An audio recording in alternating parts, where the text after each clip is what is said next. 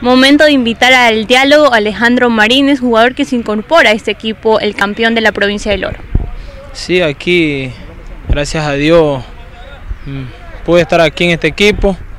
Ya he estado trabajando ya varias semanas y trabajando fuerte para lo que se viene, que es el torneo de ascenso.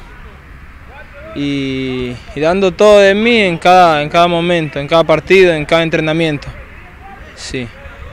Ayer hablábamos en el programa sobre el rival que ustedes tienen en este fin de semana, que es Alianza de Guano, ya rival conocido, que ha jugado profesional incluso Liga Pro, porque el año pasado quedó eh, campeón, Copa Ecuador también, no con mucha diferencia. ¿Será el mismo o cómo se idealizan para ese partido?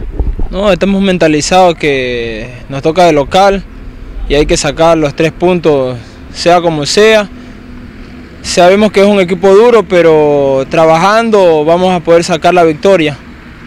Y yo creo que todos mis compañeros estamos capacitados para lo que se viene, lo que es el partido del día domingo, ¿no?